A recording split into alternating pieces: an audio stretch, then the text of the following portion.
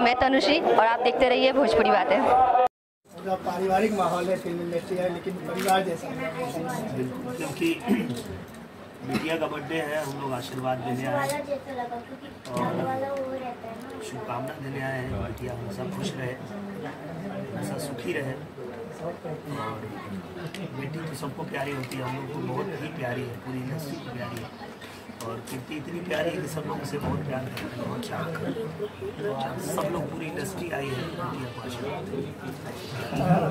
उन्होंने एक्टिंग तो की है तो as a actress as a child क्या फ्यूचर बहुत ही प्रतिभाशाली है क्योंकि मैंने देखा है एक इंटरव्यू में इनके साथ इंटरव्यू कर रही थी खेसारी जी के साथ।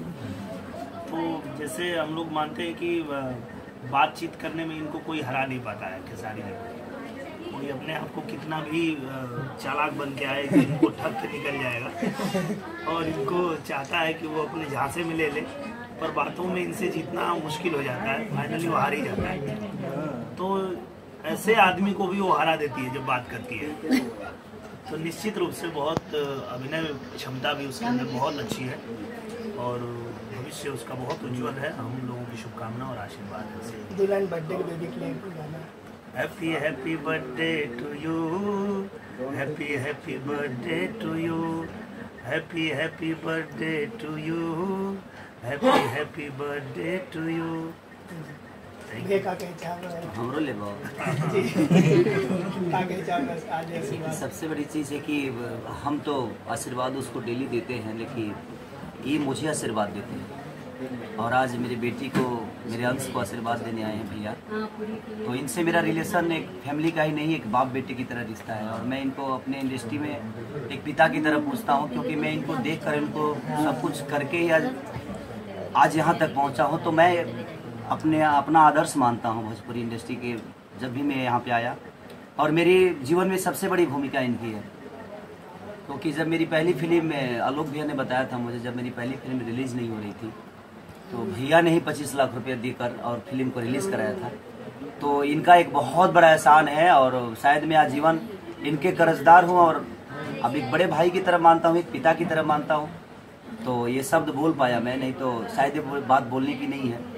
ये मेरे लिए पूजनीय है और आजीवन पूजनीय रहेंगे और मुझे पता है कि जितना इनके लिए प्रवेश भी प्यारे हैं, उतना ही प्यारा मैं भी हूँ और ये भी उतना ही मुझे सम्मान देते हैं एक छोटे भाई की तरह। मानते भी हैं और मुझे मुझे कभी कष्ट होती है तकलीफ़ होती है तो मैं भैया से शेयर करता हूँ और ये मुझे सलाह देते हैं कि बेटा ये रास्ते हैं चलता रहता है। इसको इंजॉय करो कोई भी तकलीफ़ नहीं होगी। इंजॉय जब उसको मान लोगे तो तकलीफ़ भी तुम्हारी खुशी में शामिल हो जाएगी। तो ये सारी चीज़ें तो इनसे बहुत सारी चीज़ें सीखने को मिलती है। और यहाँ जो भी बैठे हैं जैसे कि हमारे सुभाष भैया तो ये हमारा ही गार्जियन नहीं ये भैया की भी गार्जियन है। और भाभी माँ का आशीर्वाद हम लोग को मिलता रहता है हमेशा।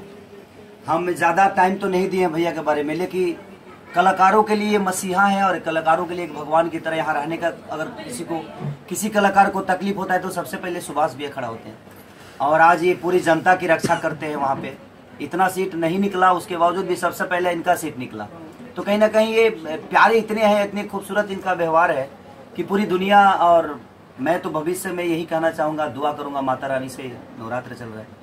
कि हमारे भैया आज विधायक बने हैं, लेकिन कल एक मंत्री पद पे आए ताकि हम लोग को खुशी हो कि हमारा एक घर परिवार का हमारा बड़ा भाई आज इतने बड़े लेवल पे है ताकि हम भी कहीं जाकर बोल सके कि हमारे घर में भी एक मंत्री है। लेकिन ऐसा होगा, ज़रूर होगा, और वो बहुत दूर नहीं है, बहुत नज़दीक है। तो और अमरपाली दुबे जी, जो कि आज मेरी बेटी को आशीर्वाद देने आई हैं तो दिल से थैंक यू लव यू कि आप इतने प्यारी, खूबसूरत हैं, और आज सिल्वर जुबली स्टार आप भी हैं इस इंडस्ट्री के। और आजीवन आजीवन तो नहीं कह सकता क्योंकि आपका भी उम्र गिरेगा। नहीं सबका मेरा भी गिरेगा। अब हम हम थोड़ी बने जो हम ऋतिक रोशन बनो रहा। तरफ़ नीचे हम दिनेश जी। हम भी पूरा होंगे। खेसारी लाल जी भी हैं कुछ साथ में कुछ कुछ प्लान चल रहा है कुछ नया प्रोजेक्ट का? हाँ प्लान तो चल रहा है। कई फ़िल्मों का हम लोग प्लान चला रहे हैं। एक तो फ़िल्म है परिवार टू उसमें हम लोग सोच रहे हैं।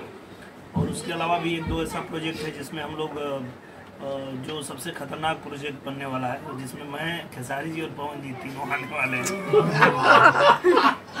कौन बनाएगा? इसको पहले वो बताइए। जो बनाएगा वो तो तैयार है। अब बस बस बाकी लोग तैयार हो हाँ, जाए बाकी लोगों को देखना है कि ये फ़िल्म मतलब अग- अगर इस फ़िल्म का प्रोड्यूसर अमरपाली होगी तो बन जाएगा। नहीं नहीं ऐसी बात नहीं है। पक्का हो। अ, आम्रपाली जी हों या कोई भी हमारे इंडस्ट्री के हों पर ये हम लोग भी चाहते हैं कि जल्दी बने क्योंकि एक फ़िल्म बनी थी जब मैं रवि भैया और मनोज भैया फ़िल्में कर रहे थे। तो हम तीनों को लेकर बनी थी चार पाँच साल लग गया था उसको बनाने में। अब क्या चाहते दस साल लगे मैं उम्मीद करता हूँ मैं उम्मीद करता हूँ कि एक महीना बन जाए। इसमें इतना समय ना लगे लगे। और उसमें आप लोगों का सहयोग चाहिए। अब अच्छा तो आप मेरे भी नेचर को जानते हैं और मैं आपके नेचर को जानता हूँ। हमारी और आपकी जब फ़िल्म बनी थी जिसका नाम था दूध का कर्ज कितने दिन में हम लोग बनाए थे? हाँ तो बन भैया भी सात बजे उठते थे सात बजे सेट पे भी मिलते थे सात बजे सेट पे मैं भी मिलता था। और दोनों भाई जम के फाइट भी किए तो बाप रे इतने धूप में इतने बालू के रेत में किए और जल जल के हम लोग काम किए और उस फ़िल्म को हम लोग शायद अट्ठाईस से उनतीस दिन में बन गई थी वो फ़िल्म। रिलीज़ होने में टाइम लगा तो हम लोग का लुकआउट नहीं था। हम लोग पोस्टर तो चिपकाएँगे नहीं। तो पोस्टर नहीं तो बहुत जल्दी बनेगी बस आप लोग आशीर्वाद दीजिए आप बस। आप और पवन भैया भी बना हम लोग के साथ आएँगे तो एकदम एनर्जी के साथ आएँगे क्योंकि अच्छे एक्टर हैं दबंग आदमी है वो। और कहीं ना कहीं जब हम दोनों भाई टाइम से पहुँचेंगे तो भी टाइम से आएँगे। ऐसा नहीं है कि टाइम से नहीं ऐसा नहीं है वो तो बहुत मेहनती हैं और बहुत ही सेट पे बहुत ज़्यादा चुस्त दुरुस्त रहते हैं। मैंने किया उनके साथ काम खून पसीना। तो बहुत पसीना बहाते हैं वो। और हम लोग उम्मीद करते हैं कि बहुत जल्द हम तीनों की फ़िल्म आए और हमारे जो दर्शक हैं हमारे जो चाहने वाले हैं उनकी भी इच्छा है वो लोग चाहते हैं। तो बस आप लोग दुआ करिए कि जल्दी से बस हम आप दुआ करिए कि हम तीनों भाई एक साथ आएँ और कुछ अच्छा करके जाएँ ताकि इंडस्ट्री को एक अच्छे व्यवहार का परिचय मिले जो फालतू की डिस्कस चल रही है वो सबसे दूर। हम तीनों भाई एक हैं और हम तीनों जब मिलते हैं तो एक खून की तरह मिलते हैं। और ये फालतू की जो चीज़ें चल रही है दुनिया करती है। हमारे अंदर कोई ऐसा चीज़ नहीं है। तो हम तीनों भाई जब भी मिलेंगे और जब भी प्रोजेक्ट करेंगे वो मैंने सुपर हिट छोड़ दीजिए। वो कितना बड़ा स्टार होगा शायद उसको भी अंदाज़ा नहीं कोई स्टार उसके आगे नहीं रहेगा। इसके अंदाज हमें भी है जो हम तीनों भाई अच्छे से काम करेंगे। अच्छा होगा। और अच्छा होगा बढ़िया होगा। आज कीर्ति के बर्थडे में पार्ट टू अनाउंस हो गया। हाँ? चलिए मेरे मैं क्या कहूँ? वो तो मेरी लाडली है और मेरी जीवन की सबसे बड़ी अनमोल रतन है वो। उसके पाँव मेरे लिए शायद भगवान की तरह है। मैं उसका पाँव छू के ही कहीं जाता हूँ। क्योंकि जब वो आई 2008 में मेरे जीवन में तो 2008 में मेरा एल्बम हिट हो गया। और उसके बाद से मैं लगातार पीछे मुड़ के नहीं देखा तो कहीं ना कहीं मेरे बेटी का बहुत बड़ा योगदान है। तो आई लव यू बेटी तो लक्ष्मी होती है। और मेरे लिए वो जीवन की सबसे बड़ी अनमोल अपने करियर में सबसे ज़्यादा अहमियत मैं उसको देता हूँ। नवरात्रि के दिन जो क्या कहना चाहते वो तो साक्षात लक्ष्मी है मेरे लिए और दुर्गा भी है वो सब कुछ है वो जब तांडव करती है तो कहीं ना कहीं प्रॉब्लम करती है मेरे को। से माता के और हम हमारे तरफ़ से नवरात्र की ढेर सारी शुभकामना हमारे इस चैनल पे देखने वाले जितने भी श्रोता हैं सबको दिल से थैंक यू कि आप लोग नवरात्र करिए।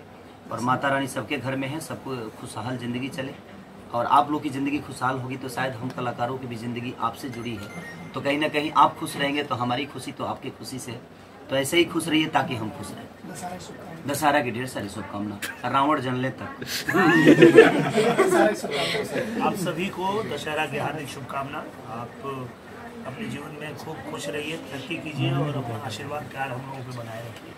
यही दुआ करते हैं। सुभाष भाई आपका कहा चाह जो है आज व्यस्त टाइम से आप आए हैं बेटी को दुआ देने के लिए परिवार है और जहाँ पे उत्तर भारतीय का सवाल उठता है एक इतना लगाव है और मैं धन्यवाद देना चाहूँगा जो हमारे उत्तर प्रदेश के कलाकार हैं।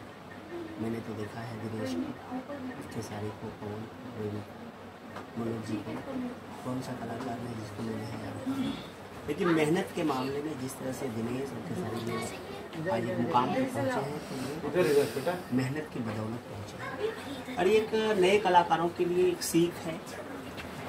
और आज भी बच्चे के जन्मदिन पे आए उनको ढेर सारी शुभकामनाएँ करते नवरात्र का महीना चल रहा है।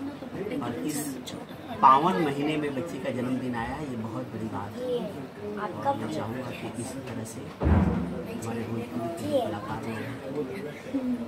एक हम सम्मान की दृष्टि से जिस तरह से मुंबई शहर में रह करके अपने आप को इन लोगों स्थापित किया है तो ये हमारे समाज के बहुत ही बड़े सुपरस्टार और अम्रपाली जो एक आज अच्छे मुकाम पे पहुँची हैं तो हम सभी लोगों की ढेर सारी शुभकामनाएँ।